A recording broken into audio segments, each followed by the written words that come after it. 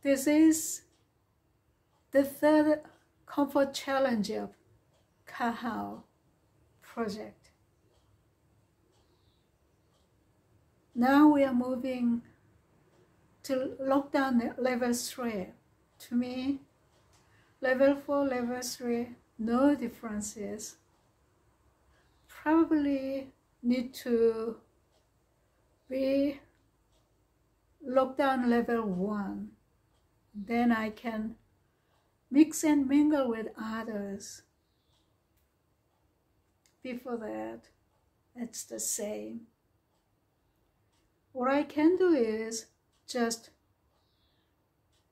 join Zoom or online meeting or see people and chat people on the screen mostly.